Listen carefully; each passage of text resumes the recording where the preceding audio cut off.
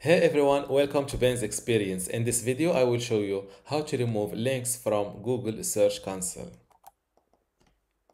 This is my website and these are all my pages indexed inside Google. Let's say that I want to remove this link from appearing here.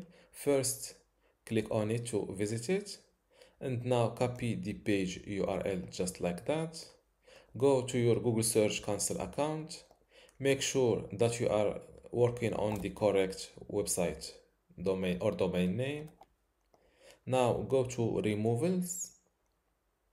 Under temporarily removals, click on new requests and fill in your the link you want to remove from Google.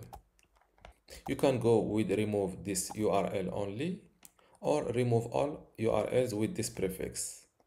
Now this is a prefix and now all the articles under this prefix will be deleted if I select just the prefix and make sure to go with this second option. Now click on next, but in my case, I want to remove only this page or one page. Click on next. As you can see, this link will be removed for about six months. Then click on submit requests.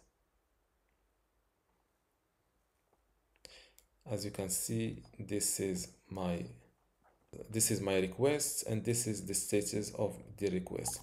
If you want to check if this link is removed or not simply copy your link go to your browser look for site two dots and then your link. When your link is completely removed it should not show up here.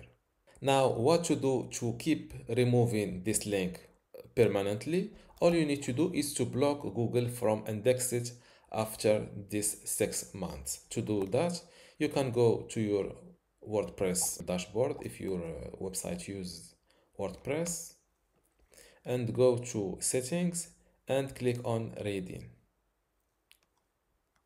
Next to search engine visibility, check this option to discourage search engines from indexing this site and hit save. Now all your pages will have a no index tag in them. If you want to prevent search engines from indexing just one page or multiple page, you can use this WordPress plugin called Rank Math SEO. After that, go to a page or a blog post in WordPress. Make click on these three dots and under plugins, click on Rank Math. Now we are in the general tab, go to the advanced tab and click on no index. As you can see, this prevents pages from being indexed and displayed in search engine result pages. And this is how to remove links from Google Search Console. Before you go, I have something special for you. I have two free online video courses for you. The first one is about Hostinger hosting and WordPress managing and the second one shows you how to use Hostinger website builder to make basic websites or online shops. You can get them both for free just by clicking the link in the description. If you like this video, give it a thumbs up and subscribe. If you have any question, leave a comment below.